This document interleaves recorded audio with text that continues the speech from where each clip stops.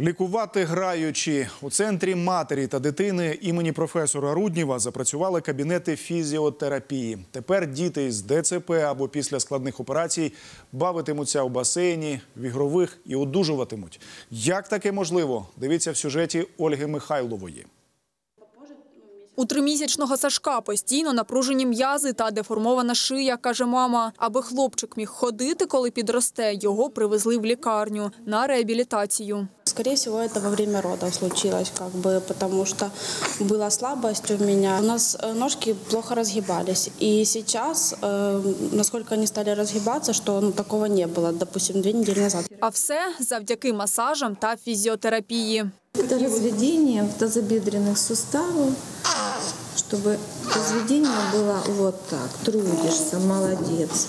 Разведение было на 180 градусов. Тепер у медцентрі дві кімнати для фізіотерапії та басейн. Тут лікують недоношених малюків і виходжують юних пацієнтів після складних операцій. Нашій знімальній групі показали обладнання, яке і ставить дітей на ноги.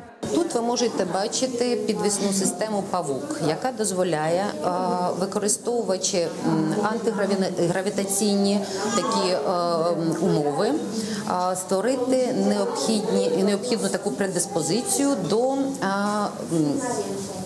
Е, стимуляції рухового розвитку дитини. Крісло, э, которое позволяет безопасно и плавно, постепенно опустить ребеночка в бассейн для занятий плаванием, а, если ребенок не может принять сам вертикальную позицию.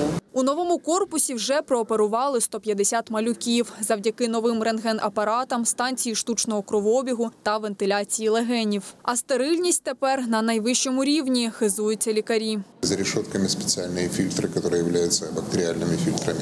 Кроме того, в потолке специальное отверстие, это так называемый ламинарный поток воздуха, который вытягивает из операционной загрязненный воздух, э, проводит его полную очистку. Стара поліклініка не могла вмістити усіх маленьких пацієнтів, тому на її місці звели два шестиповерхові корпуси. Тепер тут можуть лікуватися одночасно 100 дітей. Чистых строительных работ полтора года.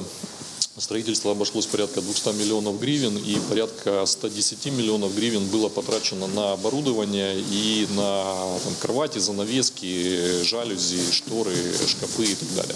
Нині, говорять медики, лікарні нічого не бракує. Кажуть, єдине, про що мріють, аби всі діти виходили звідси здоровими. Ольга Михайлова, Богдан Пападін. Деталі.